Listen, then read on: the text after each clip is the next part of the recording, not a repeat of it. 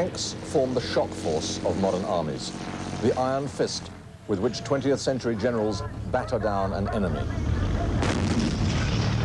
A hundred years ago, it was the cavalry, mounted swordsmen or lancers, who rushed across the battlefield to deliver the decisive blow. On today's battlefields, like here in Israel on the Golan Heights, modern cavalrymen ride to the charge on tracks, behind cannon and armor.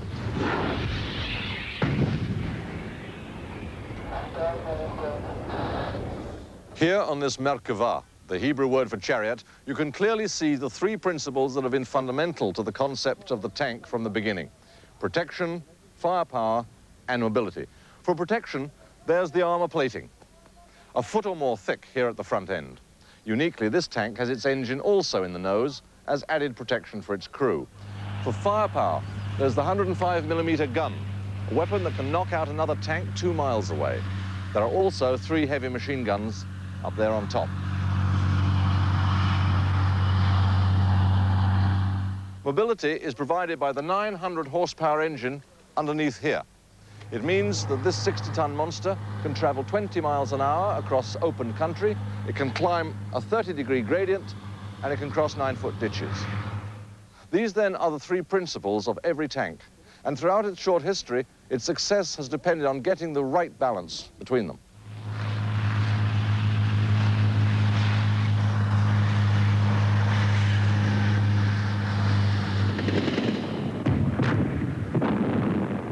It was on battlefields 2,000 miles distant from the Golan and 80 years away in time that the idea of the tank was introduced to the military imagination. The First World War crisscrossed the landscape with barbed wire, trenches, and crater fields.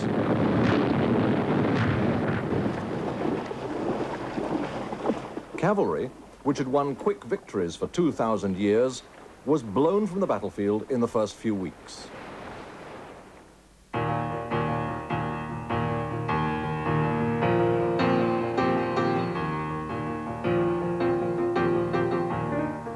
The Industrial Revolution had made the cavalryman and his horse obsolete. But it had invented new forms of horsepower that unconventional minds realized could be made to take their place. The Caterpillar tractor, seen here in a film of 1908 advertising its usefulness to the farmer, was one of them.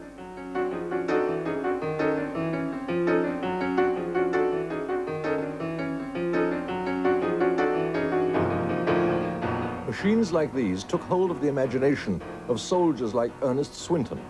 Appalled by his first sight of the Western Front, his mind turned to the tractor as a way through it.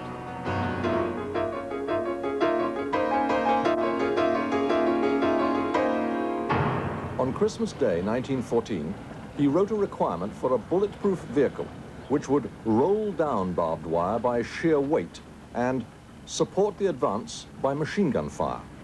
It would become the specification for the first tank. This is one of the earliest tanks. It's called the Mark IV and came into service in 1917. Already the three principles are beginning to show up, albeit in rudimentary form. Mobility. On these tracks, it could roll at three and a half miles an hour. For firepower, Hotchkiss machine guns, and further forward, the six-pounder. But it was in protection that the British Army was mainly interested. And although its armour was only half an inch thick, it was enough to protect the crew from enemy fire. Fear naught was the motto adopted by the British Tank Corps from the earliest days, in tribute to the tank's bullet-stopping skin.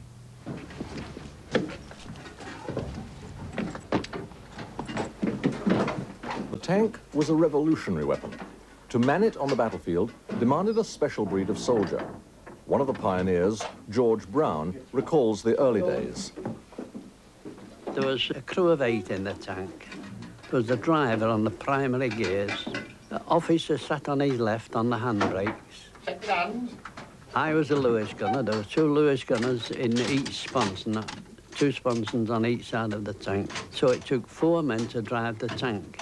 And the other four men were just gunners. Fuel pump on. Mag switch. Mag on. Check gun. You were trained to do all, all the jobs. You were trained on the secondary gears, you were trained on the machine guns, you were trained on the six-pounder guns. And of course, you were trained as a driver. Good. Gun free and lock. Check gear stick. Neutral. Check clutch. Stand by to start.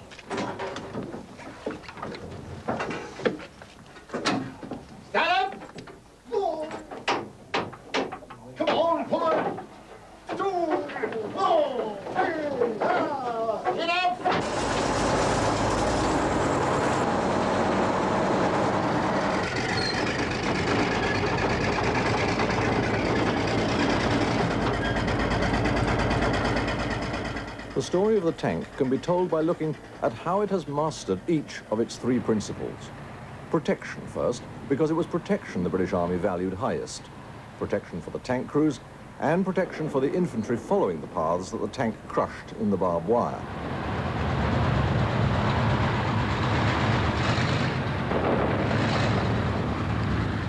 Tank was the cover name adopted while the machines were being built for the Great British Offensive on the Somme in 1916. On the first day, none were ready. The British advanced unprotected against the German machine guns, and 20,000 British soldiers died. Two months later, with a handful of tanks, the British won the little battle of Flers at far less cost in lives. Once we started to open fire on the Germans, all hell was let loose. High explosive bursting overhead, shells hitting the ground and bursting. When you first opened fire, there was the uh, already the rattle of their machine gun bullets and rifle bullets hitting the side of the tank. And unless they were armor-piercing bullets, they didn't penetrate the tank. They just made a dent, that's all. You heard a rattle on the outside. It was like something hitting a tin can. The machine gun bullets didn't penetrate, but they threw off shale on the inside of the tank and it used to pit the face with tiny bits of steel, you see, and they used to bleed. You came out looking a bit sorry. They're so, so well protected. If you had a direct hit, then you can't say anything about it. You've got to suffer that for machine gun fire and that sort of thing. It didn't offer any, any fear at all. No, your object was to get there and back. You, you, you didn't see any fear.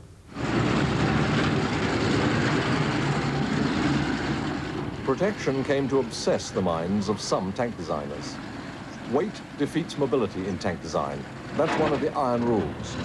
Unless, that is, the size of the gun and ammunition load is reduced.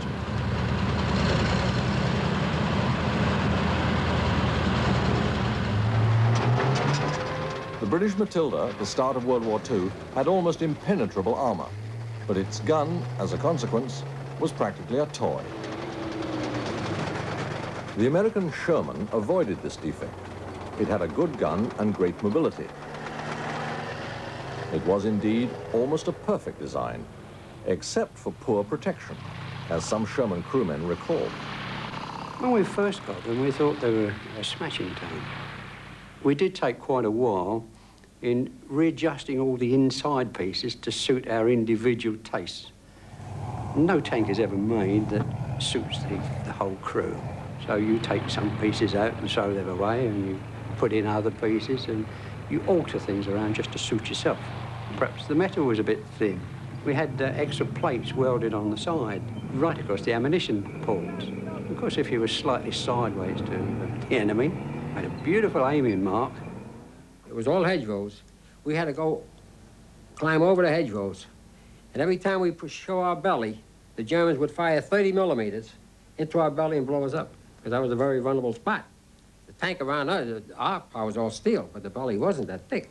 So what they did, the engineers designed a prong, and they welded this onto the front of the tank. So instead of going over the hedgerow, we went through the hedgerow. But it was the Russians who first hit upon the perfect compromise between a tank's mobility, firepower, and protection. The result was called the T-34, its qualities astounded German tankmen like Henry Metelmann. We found the T-34 a very effective weapon. We were frightened of it. Um, when we met it at the first time, they just drove through our lines and we had little chance to shoot them because they have this uh, shape in front while ours are more straight. You could hit ours better than theirs. When you hit them, the thing went off or, or down below.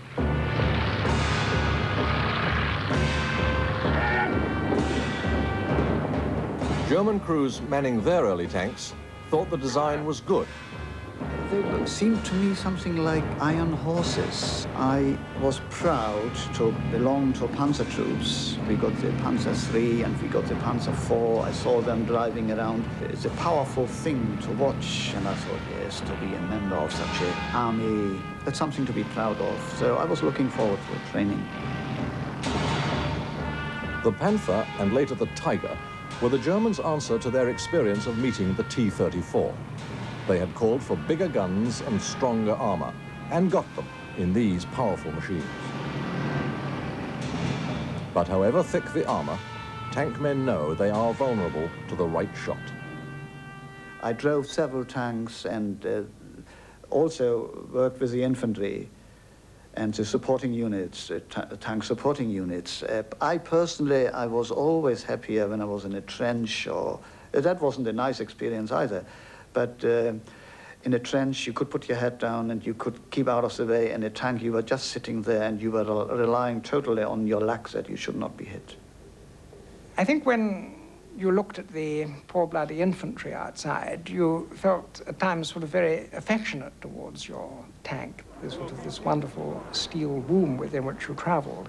On the other hand, although that uh, protected you against shell and mortar fire so long as you were inside it, you were, when you moved across open ground, a very large target for the very accurate and effective German guns. And if you had any sort of imagination, you were aware of what would happen when they got you in, in their sights.